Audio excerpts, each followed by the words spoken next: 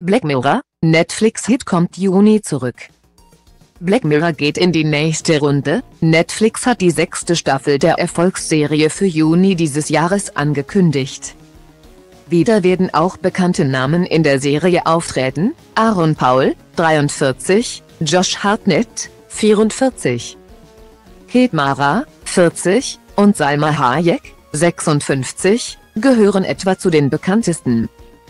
Weitere Stars sind unter anderem Annie Muffin, 36, Ben Barnes, 41, Dani Ramirez, 30, Himesh Patel, 32, Rory Culkin, 33, John Hanna, 61, Michael Cera, 34, Papa Esidu, 32, Rod Delaney, 46, und Zazie Beetz, 31.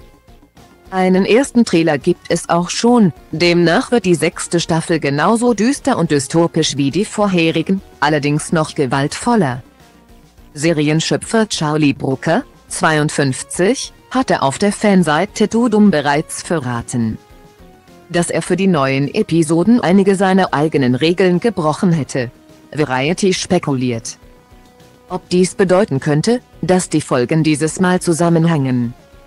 Es gäbe ein paar neue Elemente, darunter einige, von denen ich mir zuvor geschworen habe. Dass die Show dies niemals tun würde, erklärte Brooker.